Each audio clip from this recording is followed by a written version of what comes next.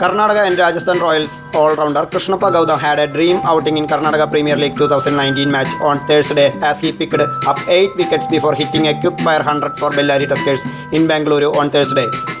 Krishnappa Gautam's bowling performance could have become the best bowling figures ever in T20 cricket, but Karnataka Premier League matches aren't recognized as T20s. Only in August 2019, Leicester captain Craig Ackermann picked up 7 wickets, giving away just 18 runs in Vitality Blast T20 match against Birmingham Bears to register the best ever bowling figures in T20s. Krishnappa Gowtham got to his 100 in just 39 balls against Shimoga Lions at the Chinnaswamy Stadium in Bengaluru as he went on a 6 hitting spree.